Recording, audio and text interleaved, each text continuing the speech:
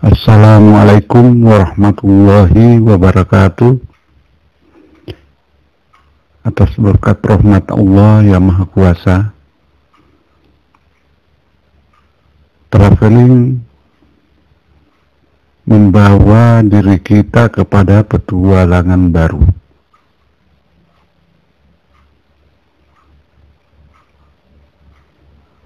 Ingat saat masa kecil bagi yang senang bermain video game. Setiap menyelesaikan sesuatu atau suatu petualangan, pasti karakter kita akan segera naik level ke petualangan yang lebih seru selanjutnya. Begitupun dengan traveling. Setiap satu kali perjalanan traveling, kita akan belajar menjadi lebih mandiri dan menghadapi persoalan-persoalan yang akan kita temukan sepanjang perjalanan. Seperti masalah penginapan, rute, transportasi, dan hal-hal lain yang membutuhkan keputusan tepat dari diri kita sendiri. Dari sini kita akan semakin terpacu untuk mengeksplorasi hal baru yang ingin kita pelajari dan keluar dari zona nyaman. Teman-teman membahas tentang traveling ini seperti tak ada habisnya. Karena semakin dibahas, semakin banyak pula yang ingin saya sampaikan kepada Anda semua. Sebagaimana bagi para traveler setelah melakukan perjalanan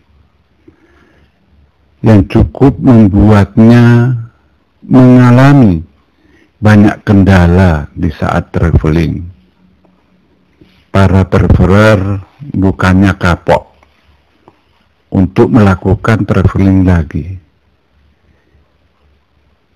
Bahkan keinginan untuk segera kembali melakukan perjalanan semakin menjadi-jadi. Kenapa demikian?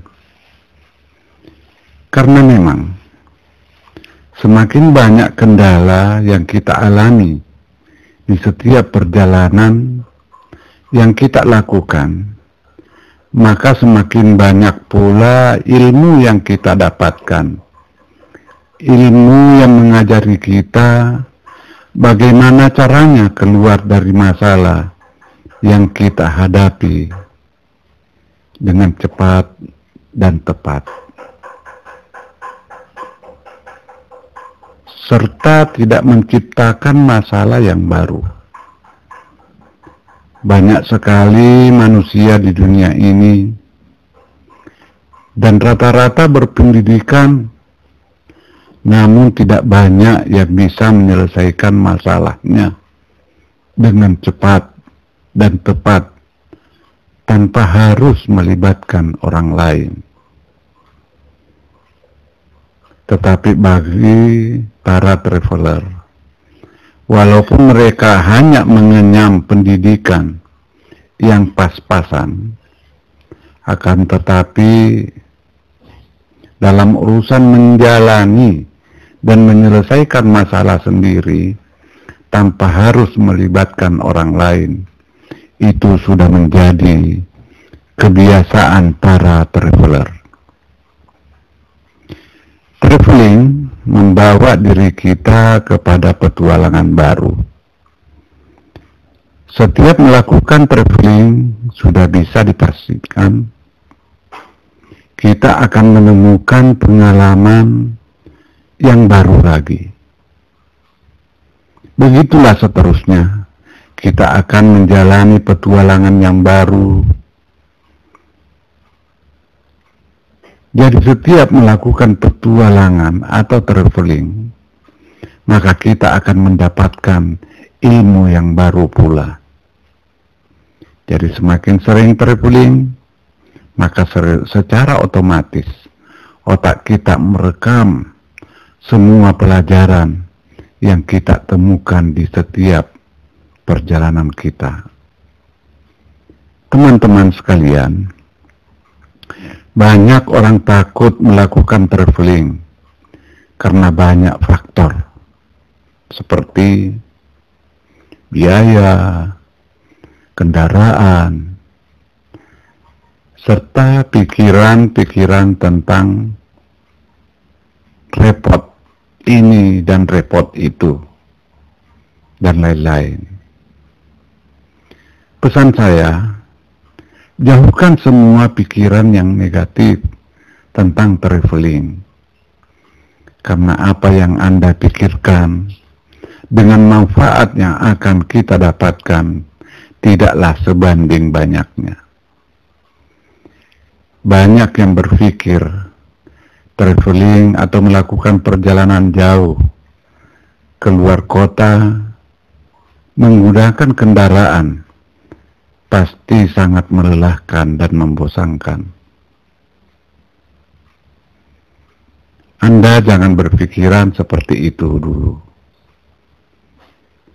Karena melakukan perjalanan jauh menggunakan kendaraan apa saja sangat menyenangkan.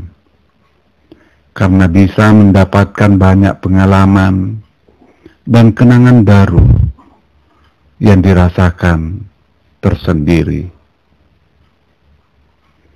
Jangan beranggapan bahwa melakukan aktivitas ini mengandung bahaya dan berisiko tinggi.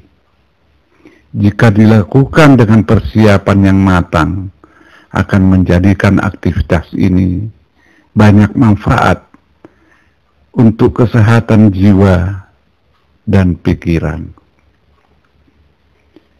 Perjalanan yang terencana menjadikan traveling nyaman dan sangat menyenangkan kita bisa melakukan perjalanan dengan menggunakan kendaraan seperti mobil, bus, pesawat, kapal, atau kendaraan lainnya.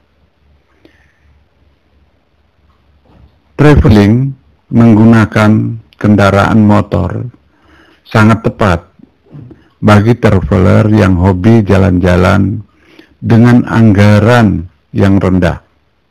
Selain menekan biaya, melakukan perjalanan dengan menggunakan kendaraan motor sangat seru dan menantang. Bahkan lebih menghemat waktu.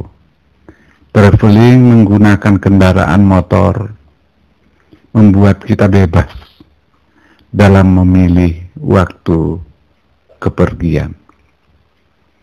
Teman-teman, traveling ke mana saja dan memakai kendaraan apa saja, semuanya sama-sama mengasihkan dan memberikan manfaat yang sangat banyak.